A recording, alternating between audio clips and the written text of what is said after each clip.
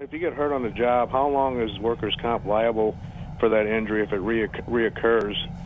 The reason I'm asking that is because I hurt myself in 2014, and I called the doctor because I was having some issues with my shoulder again, and they said I had to go through workers' comp, and workers' comp said that they are no longer liable for it. Their liability ended after two years, which was uh, December of 2016.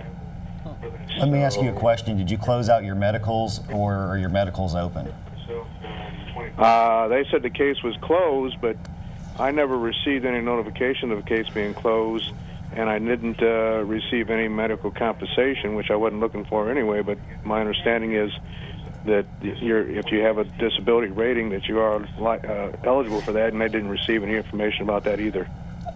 And Dennis, let me talk about that. That's called a statute of limitations. And in Tennessee, there is a one-year statute of limitations similar to personal injury. Unfortunately, what happens is, is it's one year from the date that any benefit is voluntarily provided by the insurance company.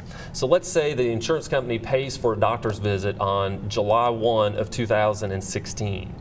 If you don't seek treatment and you don't receive a settlement, as of July 1 of 2017, your right to get any benefits for that injury are gone, um, regardless of whether you continue to need treatment. Um, it's a very drastic situation, but unfortunately, it happens to a lot of people. Now, if he would have uh, received a settlement off his impairment rating and they stopped the benefits, he would have a cause of action. Correct, Jason. Uh, in that situation, you would have a settlement with an open medical provision, and then if the insurance company says, we're not going to pay for your treatment, then you can seek help either on your own through the Department of Labor, through a court, or seek an attorney to help you with that.